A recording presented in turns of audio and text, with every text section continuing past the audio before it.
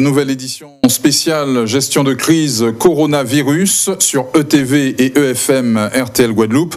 Notre invité fil rouge aujourd'hui, le préfet de région Philippe Gustin. Bonjour monsieur le préfet. Bonjour, bonjour à toute la Guadeloupe. Avec vous, nous ferons le bilan de cette première semaine de confinement avec une question centrale. Nos unités de soins euh, seront-elles en capacité de faire face à la progression exponentielle du nombre de cas confirmés dans notre archipel?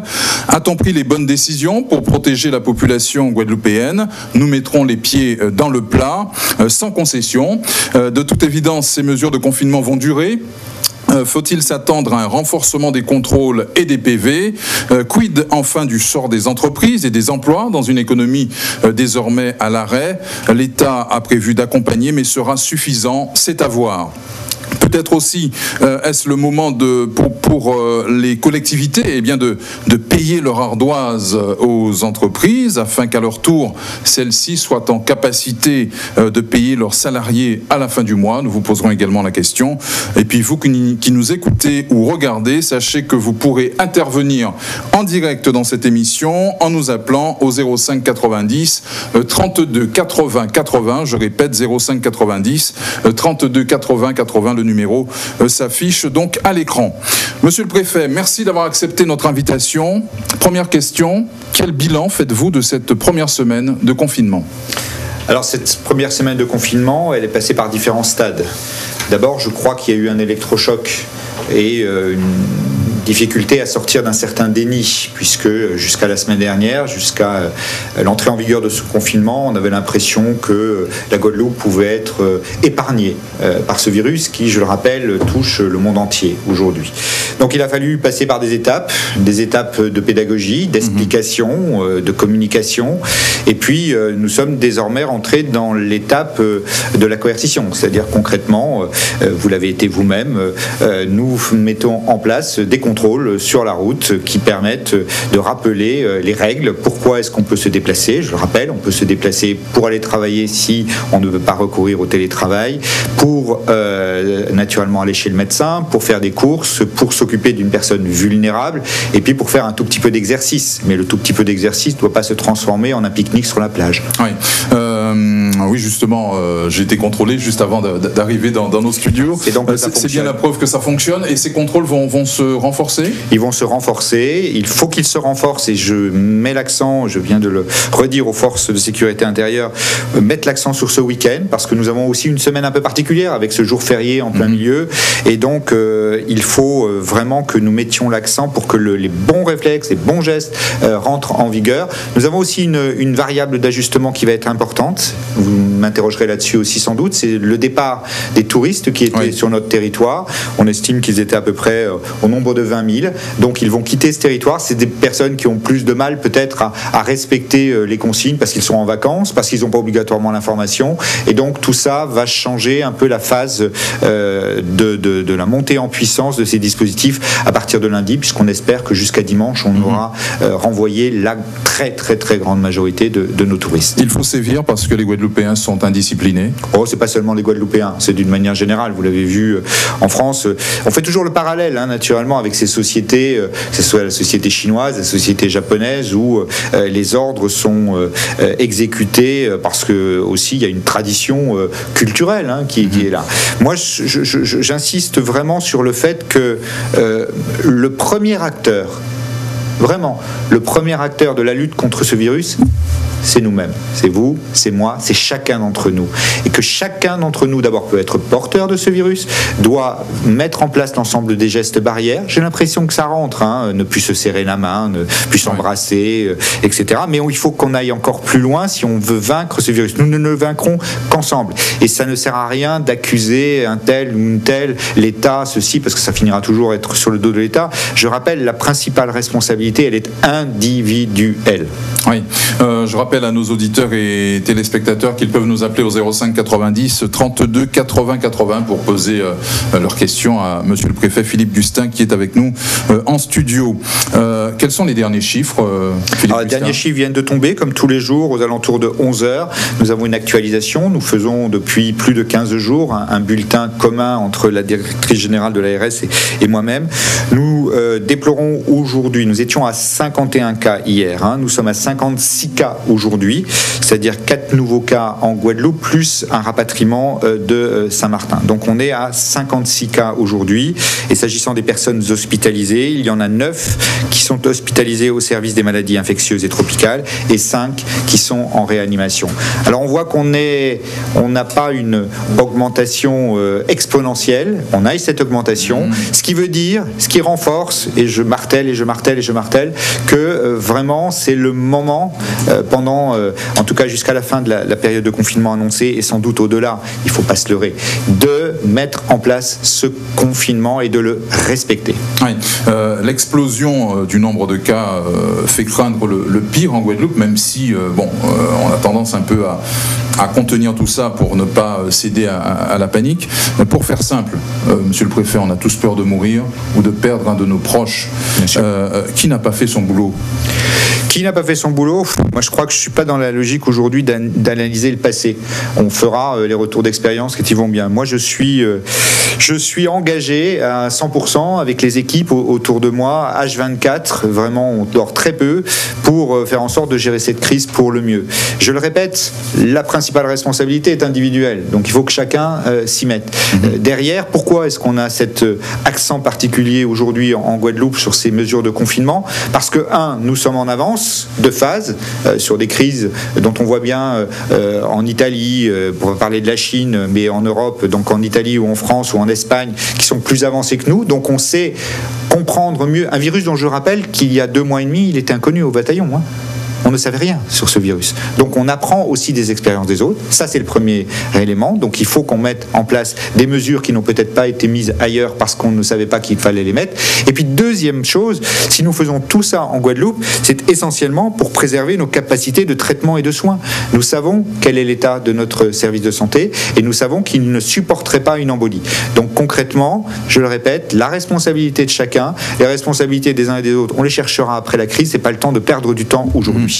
Euh, la question vous a déjà été posée, mais avec le recul et surtout, euh, encore une fois, le nombre de cas avérés, ne fallait-il pas arrêter beaucoup plus tôt la saison de la croisière et fermer cette possibilité à nos compatriotes guadeloupéens? Vous savez, cette maladie, ce virus, c'est le prix à payer de la globalisation. Et cette globalisation, s'il y a bien un lieu euh, dans la République qui incarne cette globalisation, ce sont bien nos outre-mer et singulièrement la Guadeloupe. C'est-à-dire, il y a ce brassage. Je vous l'ai dit, hein, à peu près par semaine, c'est 20 euh, 000 personnes dans un sens, 20 000 mmh. personnes dans l'autre qui, prennent, l'avion et pas seulement pour prendre les croisières. Il y a aussi euh, bah, nos compatriotes guadeloupéens qui font, ce que je dis tout le temps, le métro entre Paris et, Pointe-à-Pitre. Et puis, il y, a, le phénomène des croisières, oui, qui a sans doute amplifié les choses. je note que euh, les cas que nous avons aujourd'hui ne sont pas tous euh, la résultante de ces croisières, hein, euh, en particulier vraisemblablement le décès que nous avons eu malheureusement à, constater hier. Et donc concrètement, avoir l'illusion d'une d'une Guadeloupe complètement hermétique à la crise serait, alors là, pour le coup, complètement irresponsable. Concrètement, on sait très bien que la Guadeloupe est touchée et allait être touchée comme les autres. Très bien, nous partons standard de TVEFM. Bonjour, on vous écoute? Oui, on vous écoute. Oui, vous nous entendez? Oui, allez-y, on vous écoute. Oui. J'aimerais poser trois questions. Euh, première question, qu'est-ce qu'il faut pour rassurer la population? Quand je dis cela, c'est par rapport aux faits. Premièrement, on nous dit d'arrêter de travailler. Deuxièmement, on nous dit de reprendre le travail parce que l'économie du pays risque de chuter. Quatrièmement, on nous fait comprendre qu'en Chine, pour régler le problème, ça a été le confinement plus, plus, plus. Rassurez la population, s'il vous plaît. C'est important. Il faut qu'on sache exactement ce que l'on doit faire. Arrêtez de nous tourner en bourrique, de nous tourner comme des pirouettes Dites-nous exactement ce que nous devons faire. Très bien, merci madame. Oui, allez-y, oui. Oh, je pensais que c'était. Oui. Le traitement en cours, apparemment. Oui. Dites-nous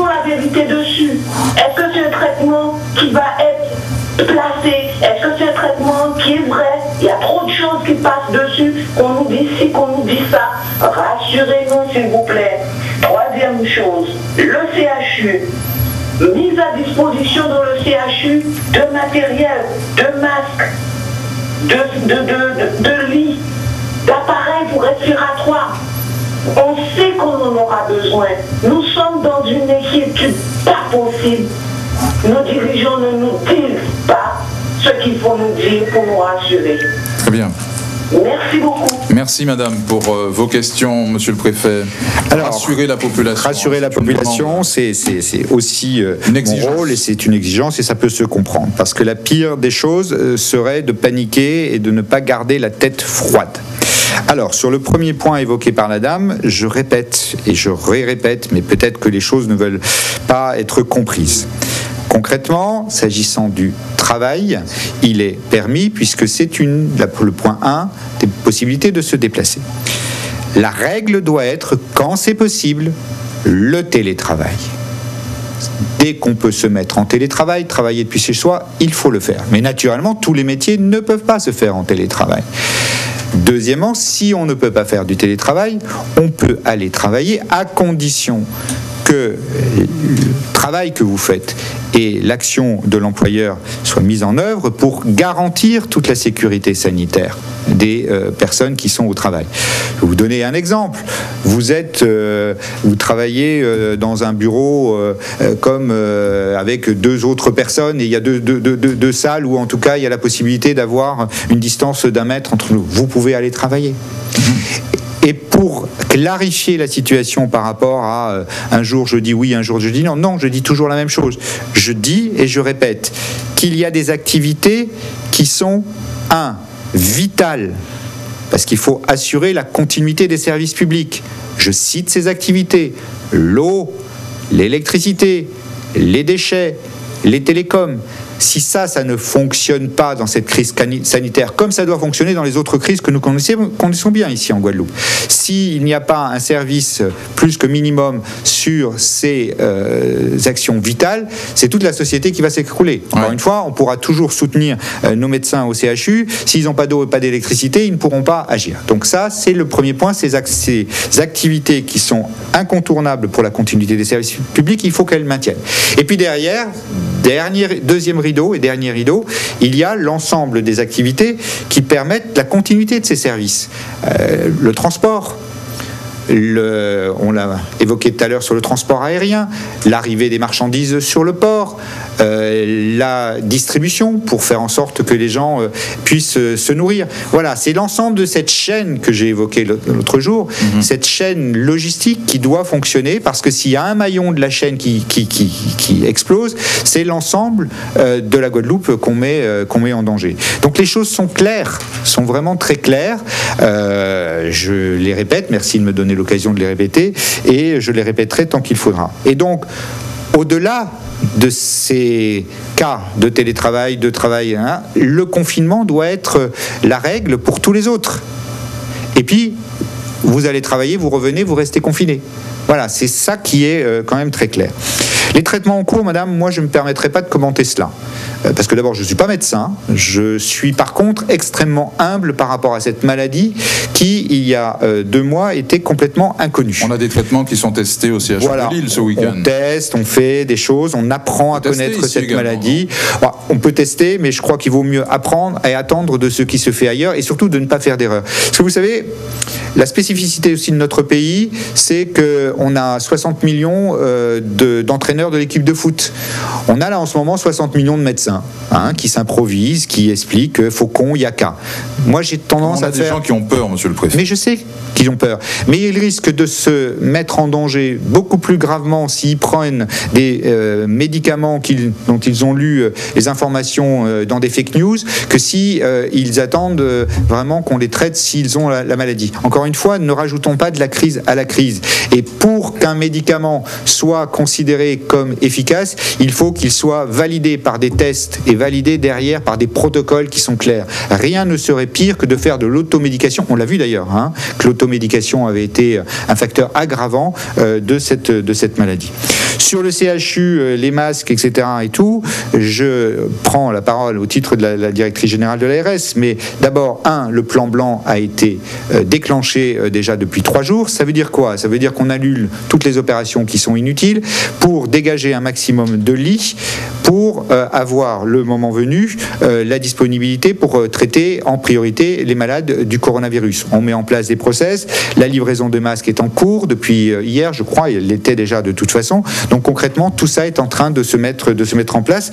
Mais je dois la vérité aux Guadeloupéens, et je l'ai dit tout à l'heure sans qu'on me le demande, nous le savons très bien, nous avons un système de soins et un CHU qui est aujourd'hui fragile.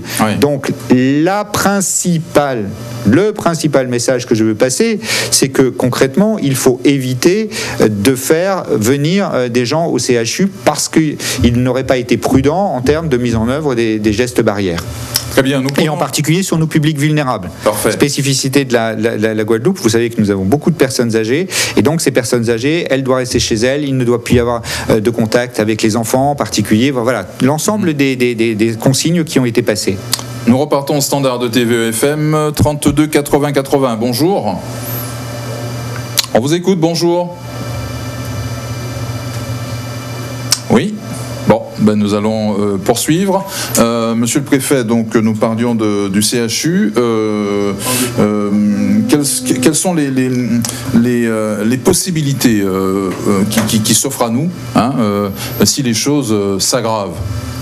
Ah, si les choses s'aggravent, d'abord, c'est en amont d'avoir euh, euh, planifié l'ensemble, ce que je vous ai dit, libérer l'ensemble des, lits et reporter les, opérations qui ne doivent pas avoir lieu, faire en sorte de, mobiliser non seulement le CHU, mais les autres, que ce soit le CHBT, mais aussi les cliniques privées, pour avoir l'ensemble des euh, options qui soient disponibles. Et puis, il y a un échelon supplémentaire, c'est de la même manière la réquisition, par exemple, des, des hôtels pour placer des malades qui ne seraient pas naturellement touchés par le coronavirus. Voilà, on a toutes ces, ces, options qui sont euh, sur la table. J'entends souvent euh, euh, l'option hôpital, hôpital de campagne, par exemple. pas de, de, réquisitionner des hôtels mais bien sûr, hein, du coup. Mais bien hein. sûr, aujourd'hui ils sont vides. Mais attention, j'entends souvent l'option un hôpital de campagne, etc. Et tout. Dans un hôpital de campagne, on ne peut pas traiter des gens en réanimation. il faut, voilà, on est dans une histoire de vase communicant. Il faut dégager un maximum de lits au CHU où on peut placer les gens en réanimation puis en traitement post-réanimation, puis voilà, déplacer euh, les, les, malades pour euh, dégager le maximum de place euh, au moment où la vague va arriver. Très bien, nous repartons au standard, ça devrait marcher cette fois-ci. Bonjour. Allô, bonjour. Oui, on vous écoute, monsieur. Bonjour, monsieur. Oui, je me permets de, vous poser une question, monsieur le préfet, très simple. Euh, je suis résident à Saint-François et je suis tout à fait d'accord sur la mise en place et le respect des, consignes. Simplement, euh, il faut savoir que dans de nombreuses sections de Saint-François, nous sommes privés d'eau depuis une semaine. Quelles sont les mesures que M. le Préfet envisage en dehors des citernes non potable qui ne répondent absolument pas au problème? Je vous remercie. Merci monsieur. On écoute euh, la réponse de Philippe Gustin. Ben, monsieur, les citernes d'eau non potable, elles ont vocation justement à vous permettre d'avoir de l'eau euh, pour pouvoir au moins vous laver, vous laver les mains. La crise de l'eau en Guadeloupe, euh, voilà deux ans bientôt que je suis ici, que je me bats pour essayer, au-delà de mes compétences, puisque je rappelle que l'État n'est absolument pas compétent, de faire en sorte qu'on sorte de cette crise qui est inadmissible et intolérable pour un pays développé. J'ai pris un arrêté en milieu de semaine pour me substituer au maire, pour mettre en place quand même ces citernes qui ont leur efficacité. Hein. Je l'ai vu euh, sur le terrain hier à Petitbourg, puisque le maire de Petitbourg a été extrêmement réactif pour mettre en place à la fois des citernes d'eau potable, mais un accès d'eau euh, euh, pour les usages non alimentaires, mais aussi un accès aussi à, de l'eau potable. Donc moi, j'en appelle au maire, et je, les contrains, et je sais que ça a été un électrochoc pour certains qui n'avaient pas peut-être pris compte de... Vos oreilles ont sifflé. Hein. Voilà, mes oreilles ont sifflé, mais c'est pas grave de toute façon, encore une fois, moi, c'est ma responsabilité. Je ne pouvais pas prendre cet arrêté euh, avant quand on n'était pas en période d'urgence sanitaire. Nous le sommes désormais, cet arrêté, il est pris. Et moi, je demande au maire de prendre toutes les dispositions et nous les aiderons. Nous les aiderons avec la Croix-Rouge, nous les aiderons avec le SDIS. C'est ce que nous faisons euh, désormais à Petit-Bourg, ce que nous faisons euh, depuis ce matin aussi à Capesterbello. Et moi, je souhaite le faire très rapidement sur les communes que j'ai bien identifiées.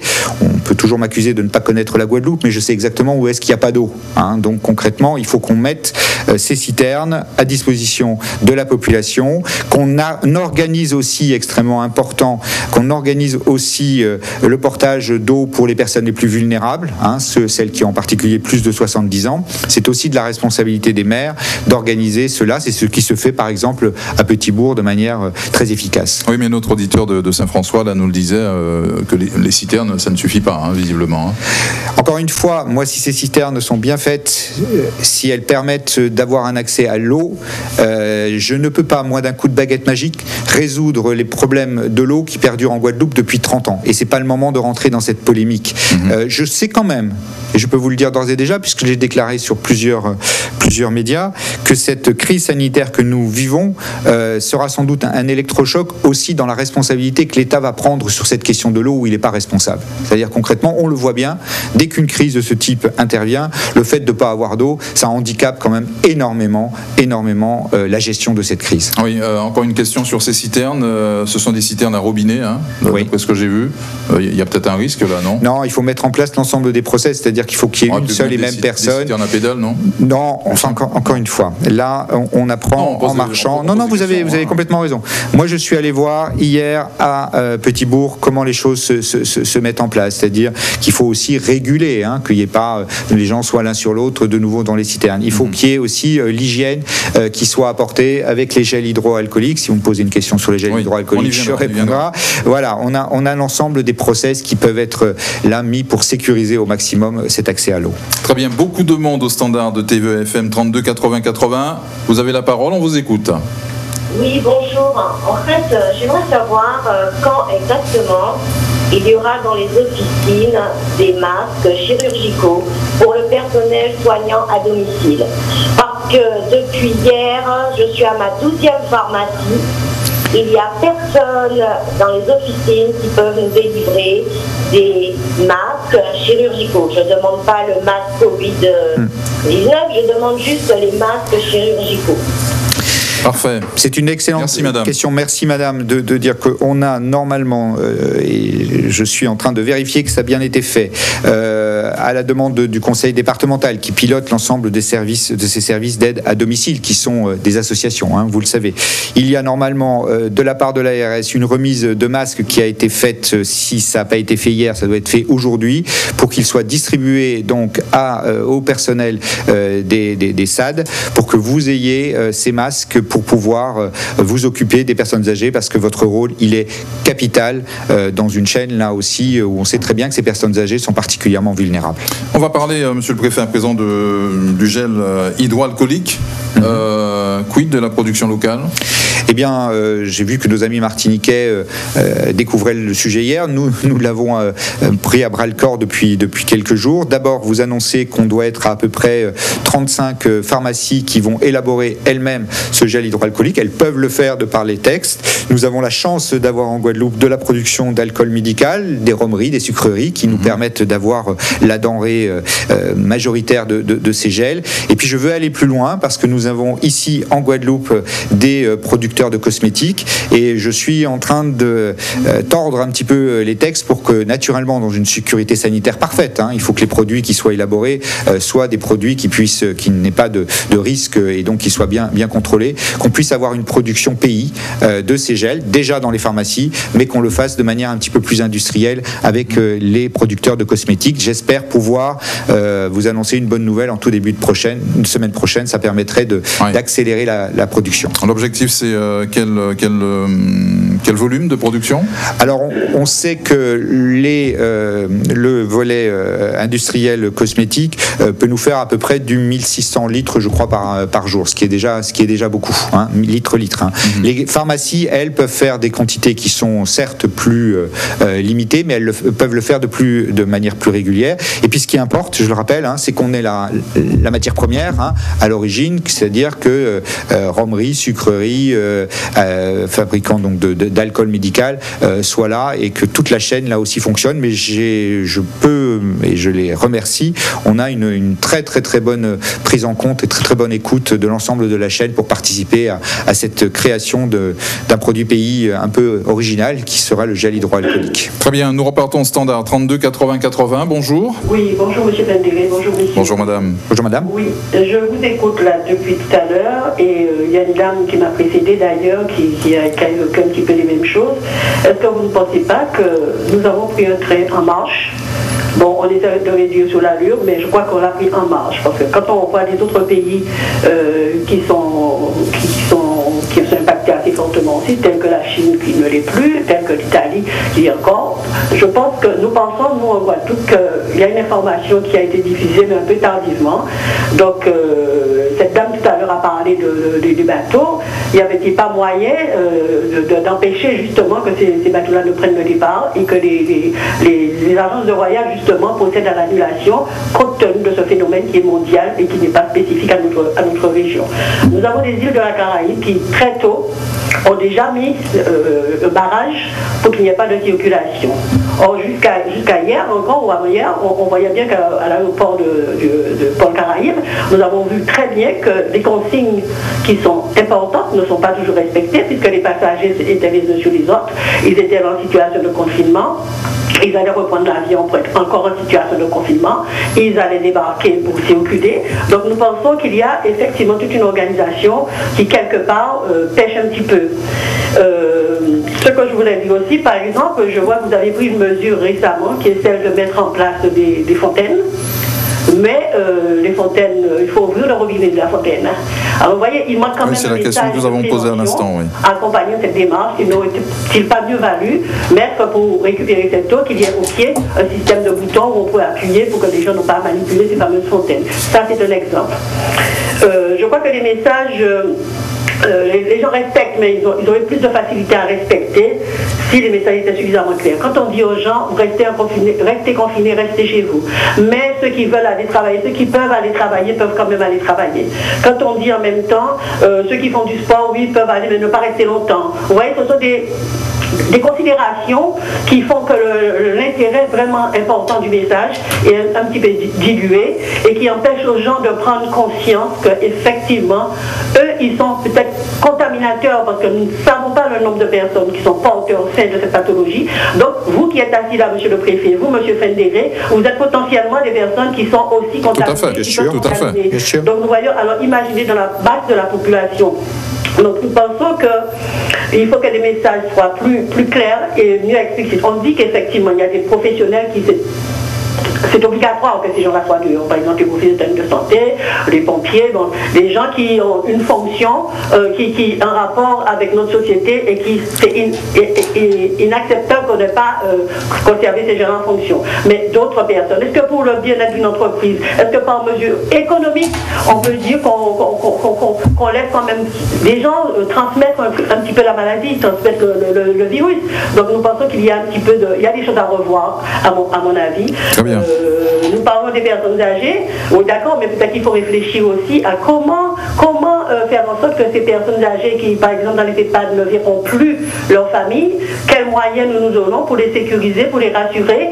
Euh, N'est-il pas important rapidement, de la même manière qu'on est en train de faire pour la télémédecine, de faire la même chose pour ces personnes qui sont dans les EHPAD et qui pourront avoir un lien visuel avec leur famille? Vous voyez tout ça, c'est des situations qui, qui, méritent véritablement qu'on s'y attache, s'y accroche. Mais euh, nous sommes dans une situation qui n'est pas commode, qui n'est commode pour personne. Et je crois que les professionnels de santé, notamment euh, sont restés un petit peu trop longtemps à l'écart de, des informations qui, qui, auraient pu leur permettre justement de mettre en place sur le terrain un travail d'éducation, d'éducation, d'éducation, de prévention à l'attention de l'ensemble de la population. Je ne crois qu'il faut là maintenant passer à une, phase supérieure et faire en sorte que les médias aussi, merci M. Fondéré, mais que les médias aussi euh, diffusent en permanence des messages de santé parce que vous savez qu'en matière de, prévention, ce n'est pas du jour au lendemain qu'on adopte les bons, les bons bon comportement. C'est ce que nous nous emploierons à faire.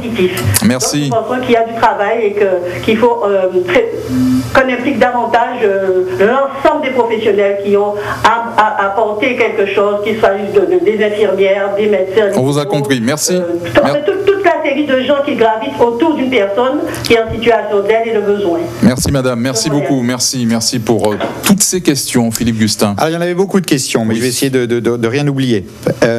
premièrement, oui, madame, vous avez expliqué vous-même, on est dans une situation exceptionnelle.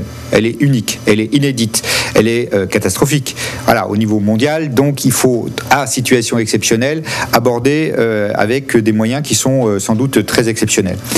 Elle est tellement exceptionnelle, cette, cette crise, que concrètement, je trouve le temps quand même de le faire de temps en temps. Moi, je, relis mes notes et ce qui a pu être fait il y a une semaine, il y a 15 jours, il y a trois semaines, il y a un mois. Et je me rends compte que chaque fois, on a passé ces messages, mais vous l'avez dit aussi, madame, à un moment, euh, les consignes, elles ne sont entendues qu'à partir du moment où euh, on a des électrochocs.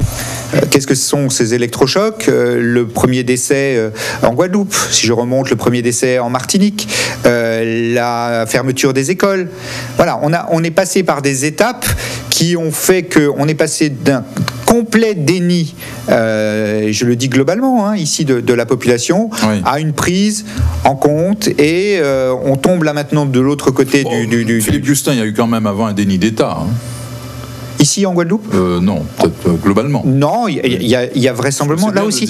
Non, non, non, non, moi j'emploie un autre terme. Hein. Je, je, le redis, c'est la question de l'humilité. Par rapport à une crise inédite, euh, vous pouvez regarder dans d'autres pays aussi des chefs d'État qui vous disent il n'y a rien, il se passe rien, et puis qui le lendemain vous disent que ça va être une, crise mondiale. Donc encore une fois, les procès, ça sert à rien de les faire aujourd'hui. Je crois qu'aujourd'hui, ce qui est important, c'est l'action. Et moi, je vais répéter, Madame, ce que j'ai dit tout à l'heure sur la, la, question du, du travail. Et prendre un exemple, parce que celui, c'est un vrai exemple de chez vrai exemple, qui m'est arrivé mercredi dernier. Un appel d'un des euh, opérateurs d'eau de Guadeloupe qui me dit euh, l'entreprise qui fait le ménage dans nos bureaux euh, a décidé de se mettre en chômage partiel parce que les femmes de ménage ne veulent pas venir faire le ménage. Très bien. Résultat des courses, les agents de cet opérateur d'eau, euh, tout le personnel, dit bah, nous, on ne veut pas venir travailler si le ménage n'est pas fait. Très bien. Qu'est-ce que ça veut dire Derrière, il n'y a plus d'eau. Et c'était la moitié de la Guadeloupe qui, euh, là, à terme, se retrouvait sans eau. Donc vous voyez, madame, ce que je veux vous faire comprendre, c'est que dans la chaîne du travail, il y a ceux qui sont incontournables. La femme de ménage de cet opérateur, elle est incontournable parce que sinon on ne peut pas avoir l'ensemble du process qui se déroule correctement. Et en bout de course, eh bien, ce sont euh, les médecins dans les hôpitaux ou les hôpitaux qui n'auront pas d'eau. Donc voilà, c'est vraiment là-dessus, c'est cette responsabilité de chacun, parfois qu'on méconnaît, hein, mais qui doit être mise en avant. Vous avez euh, évoqué l'organisation des transports et du rapatriement aujourd'hui euh, euh, à la fois de, des, touristes qu'on a pu avoir sur les croisières, et je parlerai peut-être un petit peu plus particulièrement des Guadeloupéens, et puis des touristes qu'on a là. S'agissant des touristes qui étaient sur les deux bateaux de croisière qui sont arrivés la semaine dernière, nous avons fait nous avons réussi à les faire partir euh, en un temps relativement record, vu le nombre de nationalités qu'on avait. On a fait partir 4500 personnes. 4500 personnes qui sont parties avec la mise en place d'un cordon sanitaire. Concrètement, on prenait les gens à la sortie de la passerelle de l'avion, on les montait dans des bus, ils allaient sur le tarmac, ils montaient dans des avions qui leur étaient spécialement dédiés. Voilà. Et on a fait ça, naturellement, accompagné par chaque fois une centaine de personnes, qu'ils soient les services de sécurité, mais qui soient aussi le SAMU, qui soit euh, la Croix-Rouge. Donc on a sécurisé le process pour que aucun de ces passagers qui se trouvaient dans des bateaux où on avait pu constater des cas de coronavirus ne puisse rentrer en contact avec la population. S'agissant des gens qui repartent euh, aujourd'hui, l'idée c'est de les faire repartir le, repartir le plus rapidement possible. Et s'ils m'écoutent, nous ferons avec eux ce que nous avons fait avec les croisiéristes, c'est-à-dire il n'en restera aucun sur le bord du chemin, aucun qui ne sera pas traité. Nous avons suffisamment d'avions, peut-être pas jusqu'à euh, dimanche soir, on débordera peut-être un petit peu sur, lundi, mais nous avons suffisamment d'avions pour faire repartir les gens. Et d'ores et déjà, les règles, madame, sont claires, et pour ça, il fallait qu'elles soient prises au niveau national. Nous n'acceptons plus sur le territoire de touristes, c'est-à-dire les voyages d'agrément ne sont plus autorisés depuis mercredi dernier, et nous n'autoriserons à venir sur le territoire de la Guadeloupe que les gens qui viendront avec des motifs familiaux impérieux, confère, parce que ça nous arrive là d'ores et déjà un, enterrement, enfin un décès dans la famille, ou un motif euh, professionnel aussi impérieux qui ne peut pas être déplacé.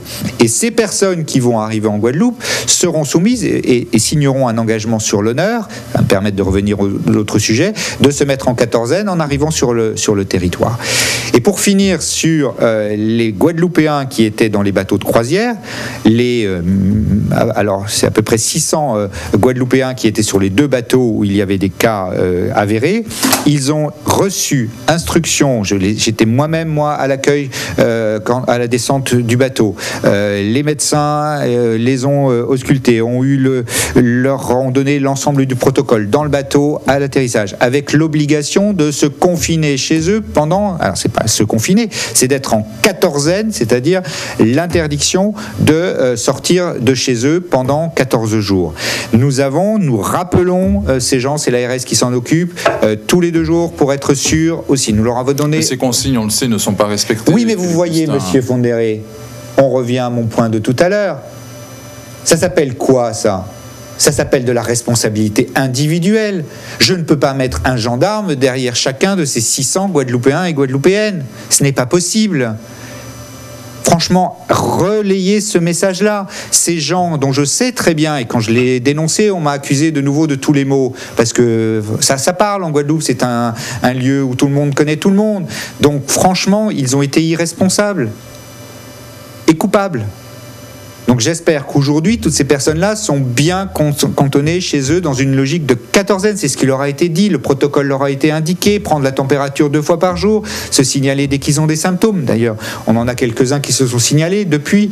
Euh, la plupart, en tout cas, tous ceux qui sont descendus du bateau ont été étaient des porteurs asymptomatiques, c'est-à-dire mmh. complètement ce qu'on disait tout à l'heure, hein, c'est-à-dire des porteurs sains. Il n'y avait aucun qui avait, qui avait été testé et qui avait la, la maladie. Donc encore une fois là-dessus, je ne peux mettre qu'en avant la responsabilité individuelle et rappeler que le principal acteur de la lutte contre cette pandémie, c'est chacun d'entre nous. Très bien. Nous repartons au standard. Beaucoup d'appels hein, au 32 80 80. Bonjour. Oui, allô, bonjour. Bonjour monsieur. Bonjour monsieur. Bonjour à vous messieurs en bateau, euh, bonjour aux spectateurs et euh, auditeurs. J'ai une question simple au préfet, euh, en espérant qu'elle n'est pas encore été posée puisque je prends l'émission en cours. Ma question a trait à la protection des dépendances. Qu'en est-il des bateaux de plaisance qui viennent mouiller au large et dont les occupants descendent sans déclaration préalable, puisqu'il s'agit de plaisance, ni donc contrôle sanitaire mhm. Ils sont interdits, monsieur, depuis. Euh, alors, je ne sais plus parce que je prends tellement d'arrêtés, mais c'était mercredi ou jeudi. Ils ont obligation de se déclarer pour ceux qui sont encore en, mer. On a identifié exactement, je crois qu'on est à peu près à 170 personnes qui doivent rester sur le bateau tant qu'ils n'ont pas apporté la preuve aussi de l'endroit où ils vont partir. Souvent, ce sont des touristes. Hein. Euh, alors, on a un petit côté positif, c'est que souvent, ces touristes sont partis depuis euh, plus de 15 jours. Hein. donc, c'est-à-dire qu'ils n'ont pas eu le temps de, Enfin, ils ont été en quatorzaine sur leur bateau. Hein. donc, c'est un, côté euh, un peu rassurant là-dessus. Mais ne pourront là aussi euh, débarquer et partir que quand on aura la certitude qu'ils auront le billet d'avion, etc. Et tout. Hmm. Mais sinon, maintenant, ça c'est le stock. Hein, euh, de la même manière qu'on avait euh, les croisiéristes et qu'on avait les touristes qui étaient sur le territoire. Et maintenant sur le flux, maintenant c'est terminé, plus d'activités nautiques de loisirs sur nos eaux territoriales. Voilà pour la réponse de Philippe Gustin. monsieur le préfet, donc les élus de Marie-Galante n'avaient peut-être pas totalement tort il prend un risque énorme. Énorme. Et je le rappelle. C'est la responsabilité, non de Ça va être la responsabilité de celle qui a signé l'acte et de ceux qui ont signé l'acte. Concrètement, aujourd'hui, euh, je comprends. Hein, encore une fois, cette. C'est ça, prendre ses responsabilités. Voilà, oui, prendre ses responsabilités, mais derrière, il y a les responsabilités. Moi, je veux pas. Je, suis d'accord, et je ne peux que me féliciter que les gens prennent chacun leurs responsabilités, en particulier quand il s'agit d'élus. Mais que derrière, on ne vienne pas pleurer quand les déchets sont pas ramassés quand on risque d'avoir une rupture de la chaîne euh, des médicaments, quand il va y avoir des cas que j'ai cités l'autre jour, hein, mhm. euh, cette jeune mère de famille qui ne pouvait pas allaiter son enfant parce qu'elle était à Pointe-à-Pitre et que l'enfant était resté à Marie-Galante. Vous avez ces situations catastrophiques, après, c'est à moi de les gérer. Et concrètement, on a suffisamment à faire aujourd'hui pour ne pas avoir à rentrer dans une psychose, parce que concrètement, que ce soit à Terre de, Haut, Terre de Bas, ou que ce soit à euh, la Désirade, ils ont mis en œuvre les mêmes dispositions que je comprends. Encore une fois, on peut réguler euh, l'entrée sur le, territoire, obliger les gens, parce que c'est des toutes petites îles euh, qui rentrent sur le territoire, qui sont des, des Marie-Galantais par exemple, de les astreindre à une quatorzaine et de faire en sorte que ça soit vérifié. Mais on ne peut pas rompre pour des raisons sanitaires, de risques énormes, on ne peut pas rompre la continuité territoriale avec nos dépendances. Vous avez attaqué euh, ces décisions J'ai attaqué ces décisions et on verra le résultat en début de semaine prochaine. Très bien. Euh, encore un appel au standard de TVEFM 32 80 81. Bonjour. Oui, bonjour. Bonjour, monsieur le préfet. Bonjour, madame. Je vous félicite parce que je vous trouve euh, poli et vous avez un self-control, ce que n'a pas euh, La question est la suivante. Voilà, je voudrais savoir comment euh, aujourd'hui on pourrait faire pour euh, savoir quelles sont euh, les conduites à tenir lorsque médecin te renvoie chez toi parce que tu es,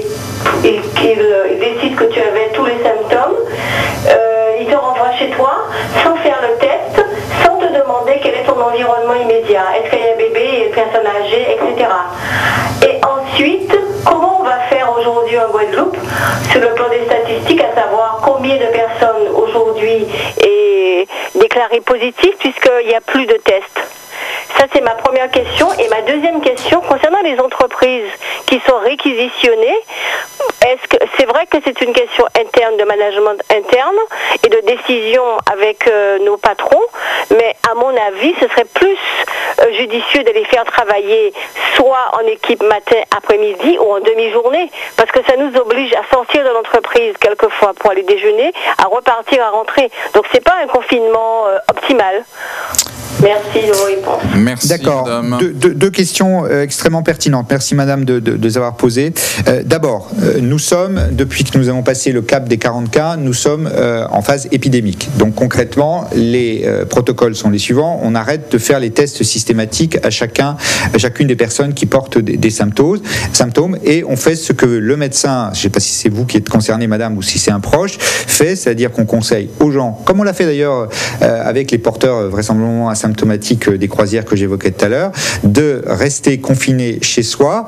Alors, j'entends bien ce que vous dites, hein, avec les, difficultés qu'on peut avoir si on a un enfant, si on a... Voilà, mais l'idée, c'est et bien d'être chez soi et de mettre en place le protocole habituel. On surveille sa température, on prend euh, les médicaments que le, médecin a pu vous indiquer, euh, en particulier de, tout ce qui peut être pour faire baisser la fièvre, et on se signale au 15 ou maintenant désormais sur une, une plateforme adéquate qui a été mise en place euh, l'ARS pour euh, signaler des complications euh, qui nécessiteraient une éventuelle hospitalisation. Ça, c'est sur le premier point.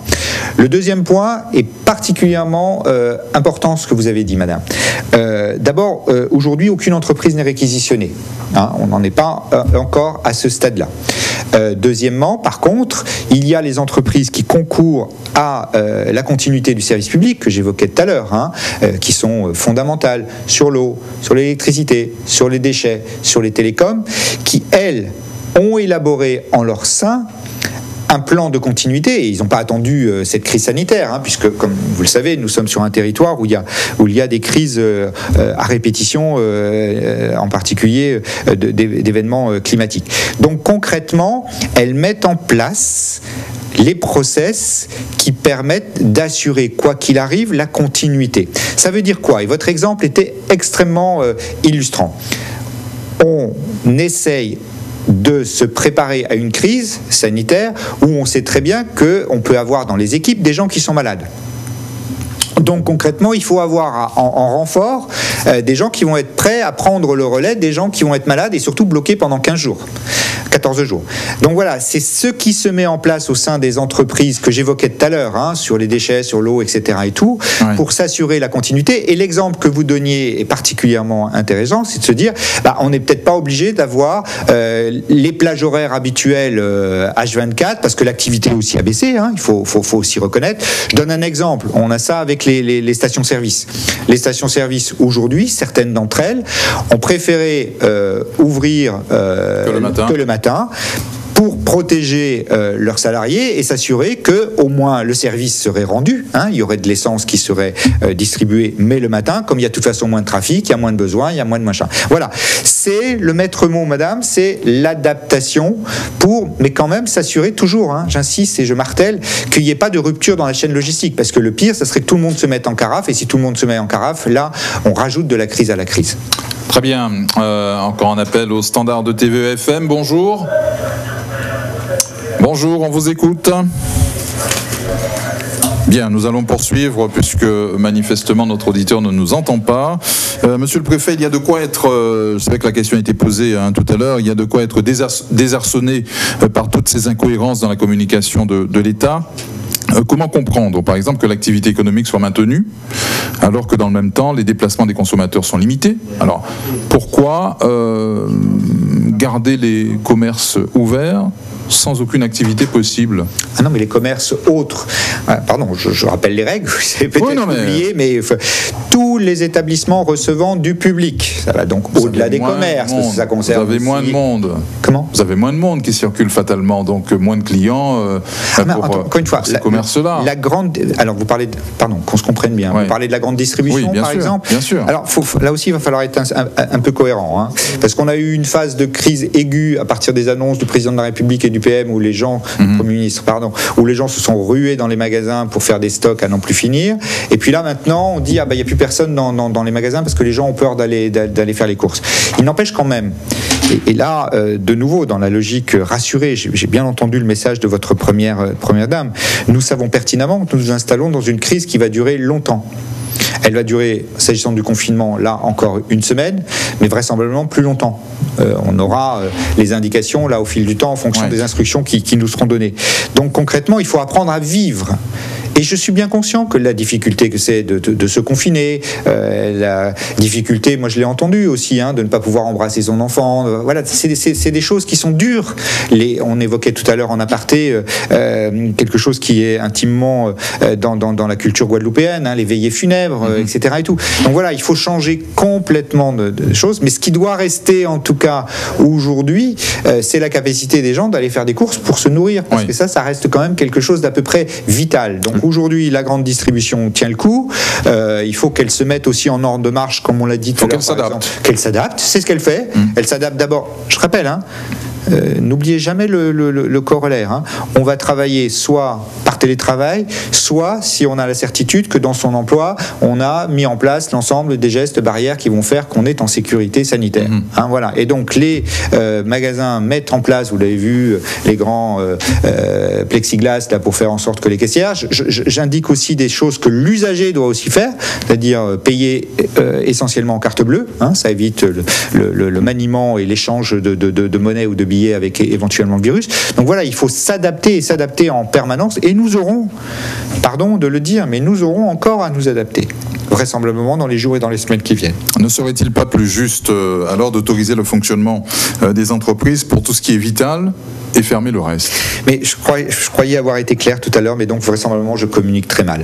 Je vous ai donné cet exemple tout à l'heure de euh, l'opérateur d'eau avec la société qui fait le ménage, etc. Oui. Et tout. Vous voyez bien. On parle de vital, hein Mais oui, mais c'est vital. Si vous n'avez pas d'eau, Monsieur Fundere, que ce soit à l'hôpital ou que ce soit On chez est vous, d'accord sur le vital. crise. On est d'accord Sur le vital, mais c'est pour- ça. ouais. C'est- c'est- et c'est là que c'est difficile. Et j'entends bien que c'est difficile. Mais la femme de ménage qui fait le ménage chez l'opérateur d'eau, elle est aussi utile que l'opérateur d'eau lui-même, que ceux qui les fontainiers, etc. Et tout. Mhm. Vous voyez, c'est ça qu'il faut. Parce que c'est très facile hein, de dire tout le monde se met en carafe, on arrête. Et très très très très très très vite, on va voir des effets. Et c'est là que euh, on est dans un- une société qui est complexe avec plein de choses. Moi, je passe mes journées à avoir euh, euh, les voyants qui s'allument au rouge parce qu'il y a eu tel ou tel sujet, tel ou tel sujet, et il faut rebrancher le tuyau pour être sûr que, que la chaîne logistique ne pète pas. Vraiment, vraiment là-dessus, cette responsabilité de chacun, c'est peut-être compliqué à comprendre, mais ça revient toujours à mon message initial que je martèle, c'est la responsabilité de chacun,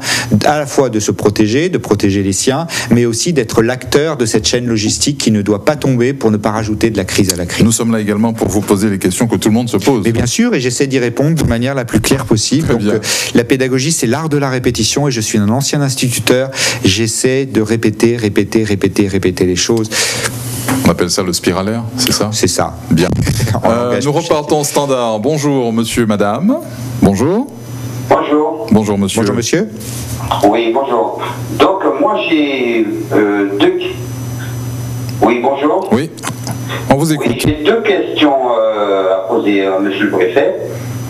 En un, je vois que le marché de l'Ast est fermé, alors qu'il y a un arrêté, euh, le président a un arrêté pour fermer le marché. Non. Mais cependant, il y a des marchands qui se sont installés autour. Mais il n'y a pas de sécurité, il n'y a rien. Et les clients touchent eux-mêmes la marchandise. Est-ce qu'il n'y a pas une réflexion à mener à ce niveau-là? Ça, c'est la première question. Et deuxièmement, bon, je suis euh, fonctionnaire, ça c'est vrai, mais les fonctionnaires ont déjà touché leur paye. Cependant, on a les, les RMI, les bénéficiaires des, allocations minimales, hein, qui, eux, n'ont rien, alors qu'ils doivent faire des courses, doivent faire des réserves. Est-ce qu'il ne fallait pas aussi à ce niveau-là faire un effort pour ces gens-là, soit les octroyer une prime peut-être de 100 euros, ou alors avancer euh, l'attribution de leur euh, allocation Deux questions très pertinentes, monsieur. La première, dans la liste des choses qui sont autorisées, il y a les marchés de euh, fruits, de légumes, euh, voilà. Ça suppose euh, qu'ils soient organisés de telle manière que euh, ben, les gestes barrières soient mis en place. C'est-à-dire concrètement que les gens ne soient pas l'un sur l'autre, qu'il y ait, vous avez complètement raison de dire, Oui. pas manipulation des fruits et des légumes par tout le monde, par une seule personne, enfin voilà, qui est, qui est celui qui les achète hein, en particulier. Voilà, il y a tout un process qui est mis en place. Euh, la responsabilité de, laisser ouvert ou pas un marché municipal revient au maire. Certains maires ont décidé, et je ne les blâme pas, que les conditions euh, d'organisation et de sécurisation sanitaire des marchés de leur commune n'étaient pas assurées et qu'ils donc préféraient fermer ces marchés. Encore une fois, je, n'ai pas à juger. Euh, je, dis simplement qu'il faut faire attention et que euh, faut surtout faire en sorte que les Guadeloupéennes et les Guadeloupéens puissent encore euh, manger des produits frais. Alors, euh, je vais vous dire, là aussi, hein, on est euh, dans cette euh, logique de, crise sans précédent à essayer de trouver des solutions. J'ai entendu ce matin sur je ne sais quelle onde concurrente les maraîchers qui expliquaient qu'ils allaient mettre en place des paniers pour pouvoir livrer les, clients. Ça se fait déjà en Guadeloupe, hein, vous, le savez, on a certains maraîchers qui le font, mais on va pouvoir peut-être l'institutionnaliser plus parce que c'est important pour nous que euh, ben, la population continue à se nourrir, se nourrir en vitamines, etc. Et tout, c'est- important. Mais derrière, j'insiste bien là-dessus, c'est la responsabilité des maires de fermer s'ils souhaitent le fermer. Et par contre, si c'est maintenu, ben, il faut que l'ensemble des gestes barrières soient mis en place. Sur euh, la question de la paye.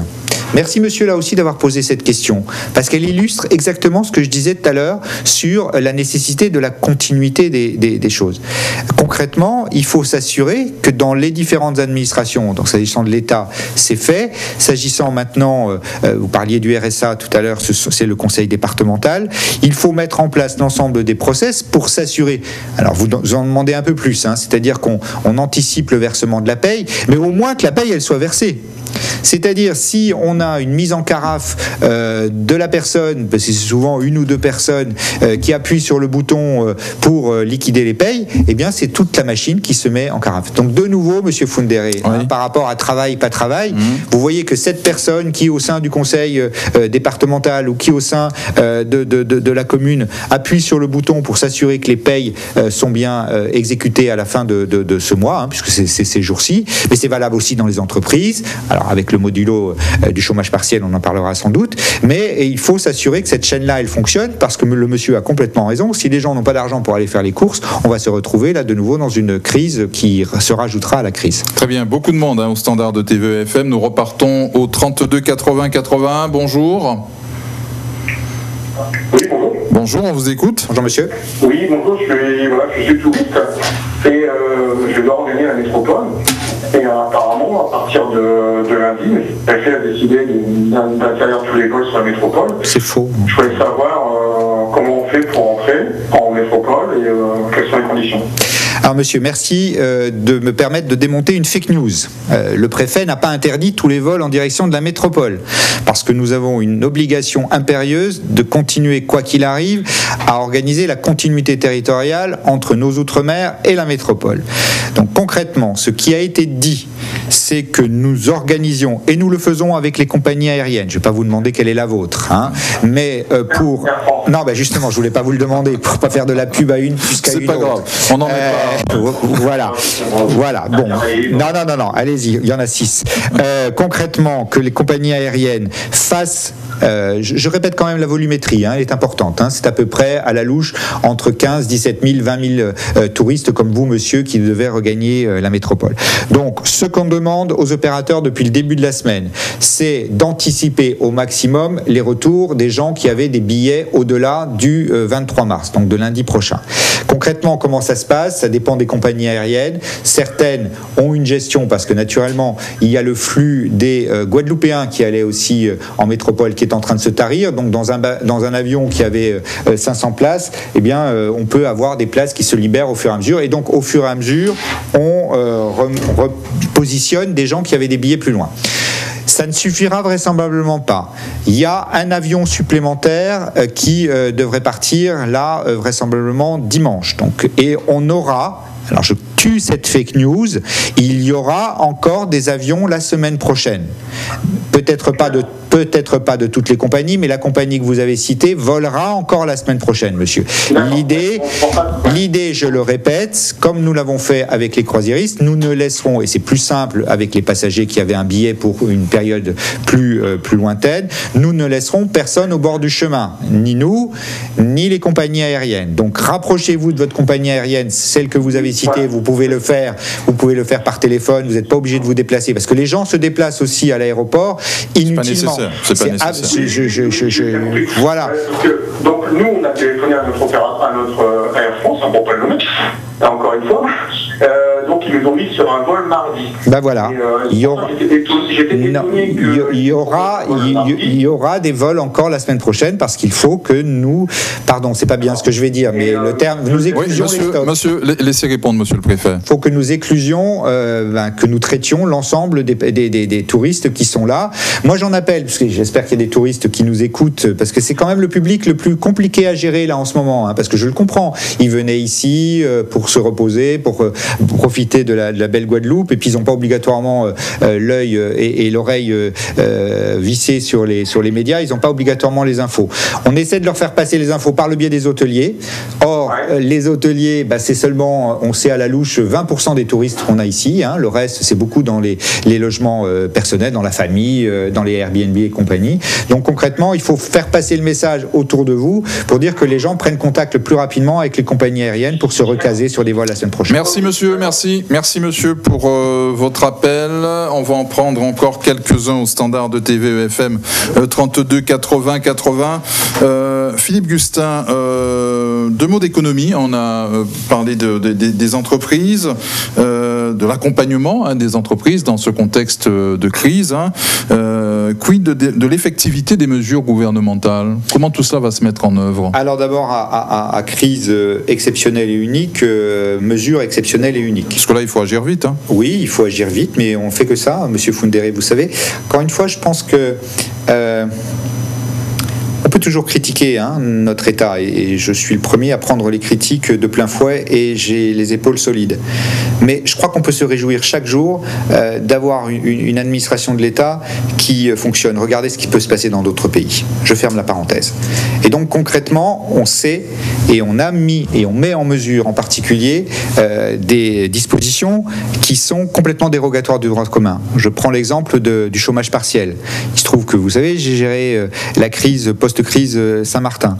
Et on avait dû mettre là aussi des dispositions qui étaient euh, très fortes et très rapides pour sauver ces entreprises. Quel est notre objectif là aussi derrière tout ça? Il faut être clair. Euh, c'est que cette crise, on espère qu'elle aura une fin. Et on espère surtout, et c'est ça qui doit nous motiver chaque jour, c'est que le redémarrage se fasse le plus rapidement possible. Parce que on va laisser des plumes, c'est clair. Donc qu'est-ce qu'il faut sécuriser? Il faut sécuriser la paye des salariés.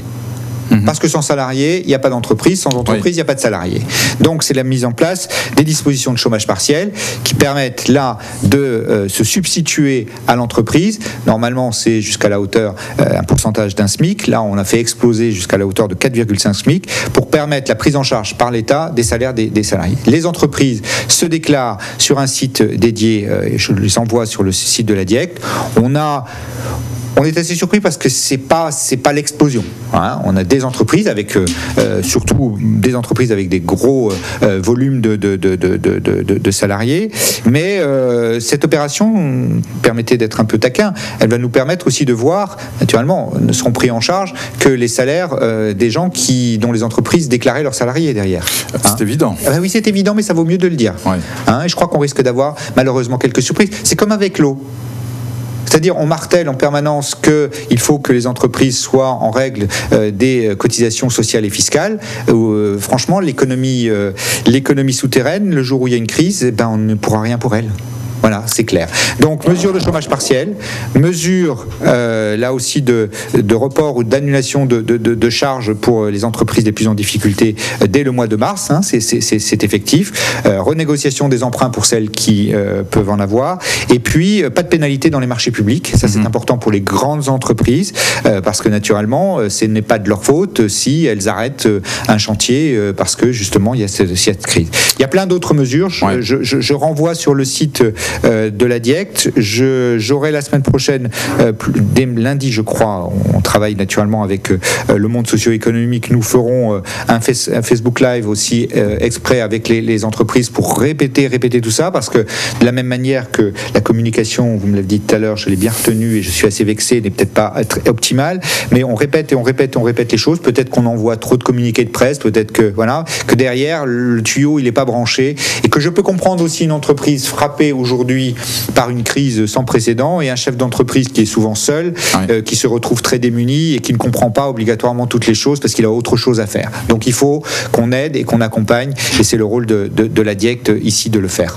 Que faire, Philippe Gustin, pour que les communes avec des caisses vides euh, payent les 150 millions d'euros qu'elles doivent justement aux entreprises afin que celles-ci payent leurs salariés à la fin de ce mois de mars?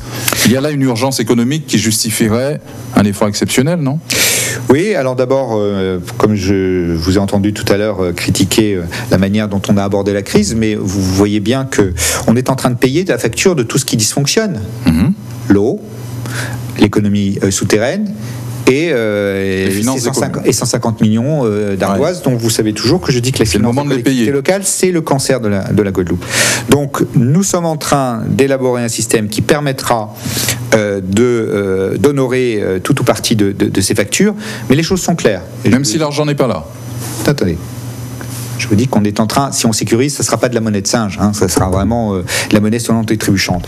Mais vous comprenez que j'ai une confiance limitée et que je veux cet argent, il aille bien dans les entreprises concernées. Donc je veux, moi, qu'on ait un système qui soit suffisamment verrouillé pour que derrière, l'argent aille bien à ceux à qui on le doit parce que ces 150 millions d'euros, on le doit à des entreprises guadeloupéennes ici, dont certaines, d'ailleurs, je crois que les 150 millions, ils n'iront pas jusqu'au bout, parce que certaines ont déjà euh, mis la clé sous la porte depuis longtemps, malheureusement. Oui, donc vous, êtes en train de nous dire que vous êtes à la manœuvre sur je suis à ce dossier-là. Et c'est pas, c'est pas moi, Philippe Gustin, préfet de la Guadeloupe, c'est un sujet que j'ai signalé parce que nous avons une spécificité particulière guadeloupéenne. Nous l'avons ailleurs dans, dans, dans les Outre-mer, mais je suis euh, le préfet du territoire le plus concerné euh, par ces ardoises, et donc j'ai signalé déjà depuis longtemps et on est en train de mhm. monter un mécanisme. Et je vous répète que ce mécanisme, moi, je veux le sécuriser pour que les entreprises en bout de course récupèrent bien l'argent qu'on leur doit, que cet argent-là, il passe pas ailleurs. donc il ne s'agit pas d'adresser un mauvais signal au, maire, mauvais gestionnaire. Non, et puis pardon, euh, quoi qu'il arrive, ce système qui va être mis en place,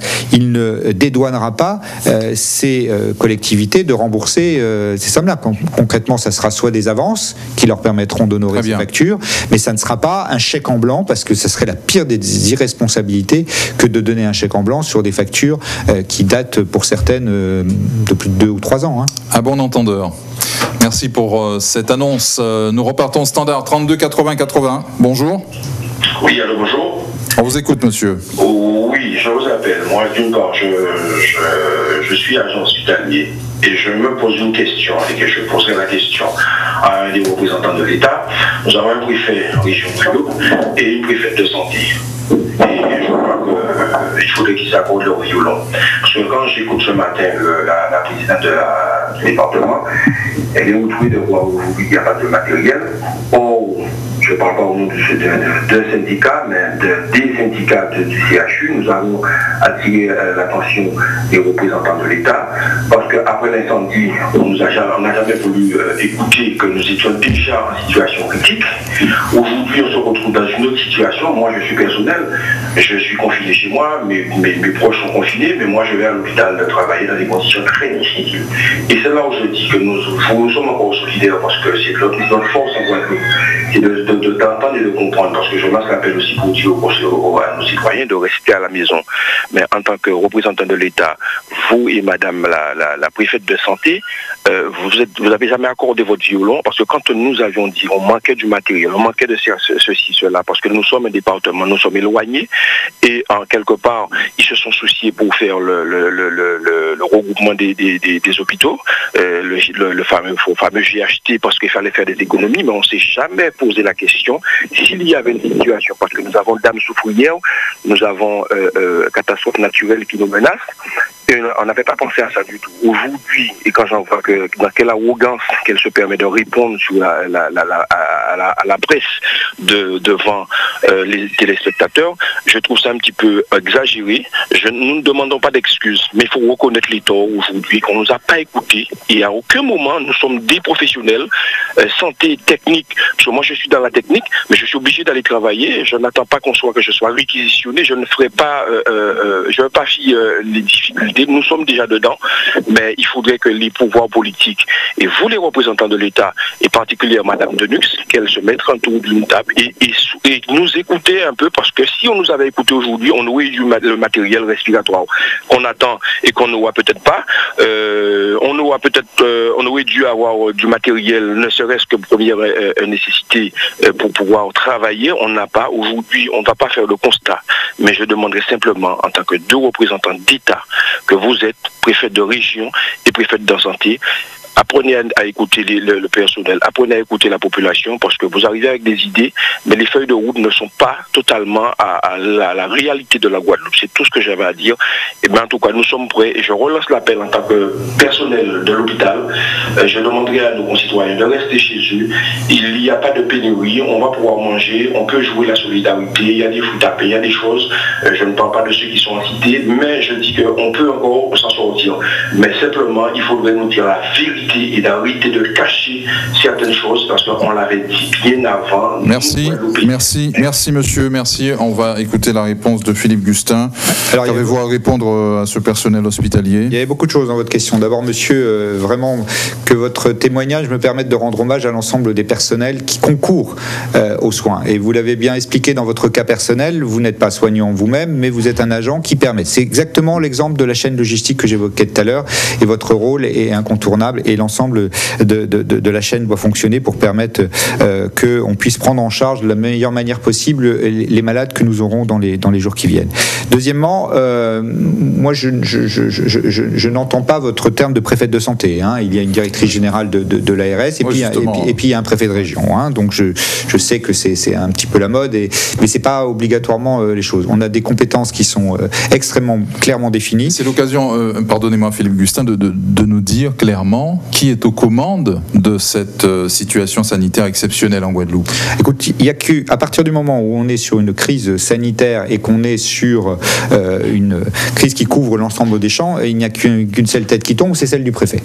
Voilà, c'est clair. Donc c'est vous qui êtes aux commandes. Mais la directrice EG, l'ensemble de la chaîne hiérarchique des autres, euh, des, autres services de l'État, dont euh, la DG de l'ARS, avec qui je, travaille plus qu'au quotidien, hein, parce qu'on se, on se parle et on, maintenant aujourd'hui on fait énormément de choses aussi euh, en dématérialisé. Pour, les rôles sont clairement définis. Les, rôles sont clairement définis, il n'y a pas d'embrouille. Il n'y a pas d'embrouille. Et le discours, il est le même. Moi, je ne me permets pas de, de, de, de m'immiscer sur l'organisation des soins parce parce que ce n'est pas, ce n'est pas mon champ. Je l'ai dit tout à l'heure, hein, je suis pas médecin, c'est pas à moi de, de, de, de dire exactement ce qu'il ce qu'il en est, mais je suis par contre, et j'assume moi toute ma responsabilité sur ce qui est organisation et, l'exemple qu'évoquait le, le, monsieur tout à l'heure, hein, sur il faut que chacun ait son rôle à jouer, bah, c'est exactement le message que je, je martèle là depuis plus d'une heure que je suis avec vous et que je continuerai à, marteler. Euh, un autre appel au 32 80 80. Bonjour. Oui, bonjour. Bonjour. Oui, euh, donc, euh, Pardon, monsieur, on, a raté une partie de votre première phrase. Oui, bonjour. Donc, moi, je suis acteur du bâtiment. Parfait. Donc, dans le privé. Donc, fait vous savoir, puisqu'il y a une incompréhension par rapport au corps de métier, vu les conditions qu'il y a en Guadeloupe d'hygiène, il n'y a pas beaucoup d'eau. Donc euh, les distances de sécurité en Guadeloupe sur un chantier, vie individuelle, c'est compliqué.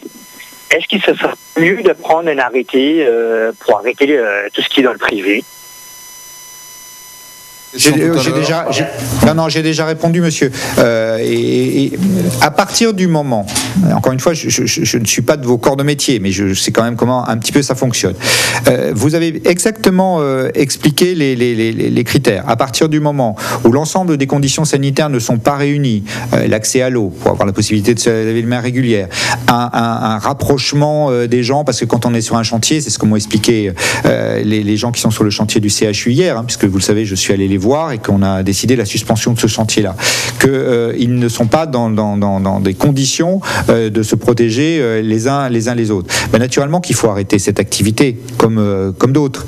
Mais si est possible d'avoir des activités dans le bâtiment, je, vais vous dire n'importe quoi, hein, que vous avez des logements sociaux à, livrer et qu'on est sur le second œuvre et que vous avez un peintre par, pièce de la maison qui est en train de le peindre, bah ça naturellement ça peut, ça peut être maintenu parce que euh, ce peintre, il est tout seul ou ils sont à deux et ils peuvent mettre les distances de sécurité. Voilà, encore une fois, l'exemple, la question que vous posez me permet d'avoir avec des exemples clairs un, petit peu de pragmatisme et, de réalisme. Mais je le répète, à partir du moment où dans l'entreprise où vous travaillez, qu'elle soit du BTP ou ailleurs, on ne peut pas assurer la mise en place de ces gestes barrières que je ne vais pas répéter une, cinquantième fois, bah, naturellement l'activité doit s'arrêter. Très bien, euh, merci. Un dernier appel au standard de TV. Oui, on vous écoute Oui, on vous écoute. Vous êtes à l'antenne, bonjour. Non. On en prendra un autre, euh, puisque nous arrivons pratiquement au terme de cette émission, Monsieur le Préfet Philippe Gustin. Le pire est devant nous. Oui. Je vous disais tout à l'heure, je, trouve le temps euh, dans mes insomnies de, de, regarder mes notes des semaines dernières. Hein, et, vous voyez bien que c'est pas propre à la Guadeloupe. Hein. Cette crise, elle, est montée euh, crescendo avec, euh, des, événements. Et, et, je ne peux pas vous dire ce que sera la semaine prochaine. J'aimerais bien le savoir. Je sais simplement quand même, je ne suis pas médecin, mais qu'on a une connaissance de ce virus, en particulier les délais de contamination Hein, c'est-à-dire dans les, 14 jours qui sont extrêmement importants, qui euh, nécessitent donc cette, ce confinement et puis derrière euh, éventuellement cette, cette quatorzaine, hein, cette mise en quarantaine pendant 14 jours. Donc ça veut dire que là, il y a eu des événements quand même qui ont été, qui ont été euh, générateurs de transmission du virus au cours des, des, 15 derniers jours. puisque vous me tendez la perche, il y a eu des campagnes électorales avec des meetings, avec des, euh, euh, alors même que les regroupements de plus de 100 personnes étaient déjà euh, décidés, ah, des, soirées. Il y, a, eu surtout des élections qui ont été maintenues. Voilà, des élections qui ont été maintenues. C'est parti de là, hein, Oui, mais derrière, quand même, l'interdiction des regroupements, encore une fois, on ne va pas refaire l'histoire. Mais ce que, ce que je veux vous, vous répondre, c'est que concrètement, on sait très bien qu'on est dans une phase épidémique, elle est en train de monter. Vous voyez les chiffres, on vous les donne tous les jours en toute transparence. Un monsieur, à un moment, disait la transparence. Là, on a vraiment, euh, je ne verrai pas quel est l'intérêt de cacher quoi que ce soit sur les chiffres que l'on a, sachant que, je le répète, les tests ne sont plus systématiques aujourd'hui puisqu'on est en phase épidémique. Donc on continuera à faire ce bulletin de presse que l'on fait depuis euh, euh, quasiment trois semaines, hein, quotidien. Donc on le fera toujours en, fin de matinée et on continuera à, expliquer les choses. Mais il est certain qu'on va se retrouver dans les deux semaines à venir avec une amplification vraisemblablement du système. Je ne peux pas vous dire quelle est l'ampleur, j'aimerais bien le savoir, mais c'est pour ça que tout ce qui peut être mis en œuvre aujourd'hui pour freiner freiner cette, ce pic là, puisqu'on a cette chance d'être un petit peu en avance sur d'autres territoires, en particulier de la, de la République. Ça passe par le confinement, ça passe par la mise en place des gestes barrières. Voilà, on martèle, on martèle, on martèle, on martèle, on martèle. J'espère que tout ça sera entendu et surtout mis en œuvre par chaque Guadeloupéenne, chaque Guadeloupéen. Je finis par là où j'ai commencé. C'est chacun qui porte en lui hein, la solution. Et on ne pourra pas accuser et demander euh, à ce que ça soit ceci, cela. C'est chacun qui porte en lui la solution, parce que le, votre téléspectateur nous l'a bien dit, votre auditeur nous l'a bien dit tout à l'heure. Peut-être que vous, Monsieur Fundéré, ou moi-même, je suis porteur aujourd'hui. Et pour autant, là, vous voyez, on vient de faire toute cette émission sans trop se regarder, sans se positionner. On a notre maître entre, entre nous. Euh, voilà, il faut, il faut qu'on soit là, chacun responsable. Euh, on sait que bon, euh, votre cas personnel euh, n'est jamais mis en avant hein, par, vous-même, Monsieur le Préfet. Il y, a une pétition qui circule qui demande votre démission. Oui, c'est pas la première et c'est pas la dernière. Franchement, vous savez, dans une guerre, il y a les combattants et puis il y a les déserteurs. Voilà, moi je pense que j'appartiens plutôt à la catégorie des combattants et je continuerai jusqu'au dernier moment. Très bien. Euh, dernier appel au standard 32 80 80. Bonjour. Bonjour. On vous écoute. Bonjour, Augustin. Euh, une question. Vous nous demandez de rester confinés en ce moment. Comment ça se fait qu'il y a une semaine, vous n'ayez pas su ordonner ce confinement aux coronavirus qui ont débarqué euh, On a déjà répondu. J'ai déjà répondu, monsieur. On a déjà répondu à cette question, monsieur. Merci. Euh, Philippe Gustin, nous arrivons donc au terme de cette euh, émission. Merci d'avoir participé. Un dernier appel? Oui, vous êtes très nombreux, on ne veut pas frustrer. Ça sera vraiment le dernier. Hein bonjour, bonjour. En espérant que ce soit une question qui n'ait pas déjà été posée. Bonjour. Bien. Allez. On va boucler. Merci, merci Philippe Gustin d'être venu jusqu'à nous. Vous remercie. Dans les studios de TV. et, euh, plutôt que, et plutôt un dernier message à vos auditeurs, plutôt que de, euh, de lire et de répandre des fake news, euh, voilà, écoutez plutôt les messages, relisez l'ensemble des messages qui sont publiés, qui sont diffusés, qui sont voilà validés, parce que la pire des choses dans cette gestion du virus, c'est la peur, c'est de ne pas garder la tête froide, c'est de diffuser euh, de fausses, de fausses rumeurs qui peuvent euh, après être beaucoup plus euh, difficiles à rattraper. Donc voilà, gardons la tête froide collectivement et soyons chacun responsable. Merci Monsieur le Préfet d'avoir participé à cette émission, à cette édition spéciale sur ETV et EFM RTL, édition spéciale consacrée à la gestion de la crise du coronavirus dans notre archipel. Merci à vous de nous avoir suivis. Bonne fin de journée.